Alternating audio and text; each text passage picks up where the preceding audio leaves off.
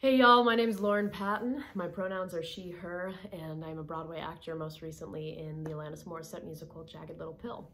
Uh, and I'm here to talk to you about why climate change and climate justice is something that's extremely important to me. Um, probably if you've been on this planet for more than about 10 years, which I'm going to safely assume is the majority of you, if not all of you, um, you've seen firsthand evidence of changes to our planet because we have uh, not been taking steps as a nation and as a global community, taking enough steps to combat climate change. Um, I know something that is pretty recent that really struck me about that was the enormous amount of destructive wildfires that we saw in our country over the last six months to a year. Um, I don't know about you, I have a lot of uh, family and close friends who live in California. That was pretty scary.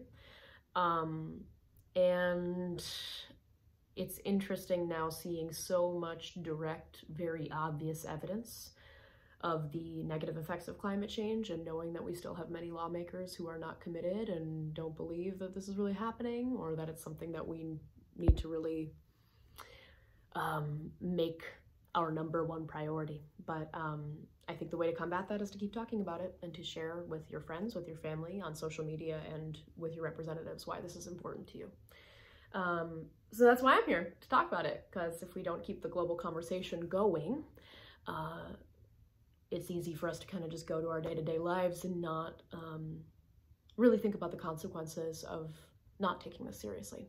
So I am like, what are y'all doing in your day-to-day lives? What helps you? What make what works for you? Because I know that for me it can sometimes feel like I can't do anything about climate change. I'm just one little person. And I definitely catch myself saying that to myself, but I've found that if I just shift a couple of priorities in my life, um,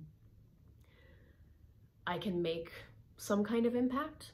Um, whether that's making sure that all the lights are off when I leave my apartment, uh, or it's saying I'm not going to eat meat for a couple days out of the week. Um, those are just two tiny examples. Saying, oh, I'm going to get a reusable straw and I'll bring it with me. Oh, I can bring reusable silverware with me. That was a big thing during Jagged that I did um, because I was tired of using the plastic silverware that takeout uh, people include with food. So I would say don't include silverware and I would have my own little bamboo reusable silverwares uh, that I would use for all of my meals. So uh, ultimately small actions like that can add up and can also just keep in your mind day to day, this is something I care about, this is something I want to take actions around.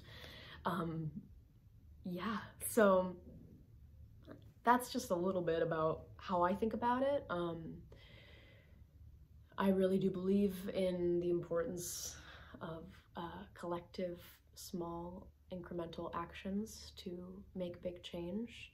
And I think we just need to keep making noise about it because um, we're very lucky. Thankfully, we have an administration coming in in the United States who does care about climate change and who does recognize that it's real and that it's happening and that is it is a dire necessity that we address it immediately. So I think we're in a place where we have a great shot with legislation to actually address it again. And we just need to be on our own representatives and legislators um, to let them know that as their constituents, we do care about this and it is um, a, a, priority. Uh, so don't be afraid to use your voice.